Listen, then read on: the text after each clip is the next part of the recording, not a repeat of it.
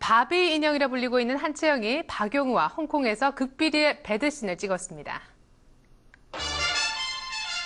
영화 지금 사랑하는 사람과 살고 있습니까 촬영의 한창인 한채영은 15일 홍콩에서 박용우와 극비리의 배드신을 촬영한 것으로 알려졌습니다.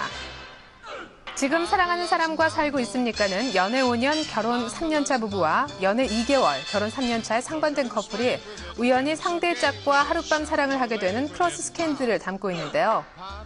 엄정화와 박용우가 오랜 연애 끝에 결혼한 부부를 한채영과 이동건이 연애와 결혼은 별개로 생각하는 젊은 부부로 나옵니다.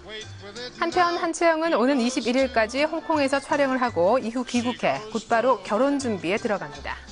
He goes fast.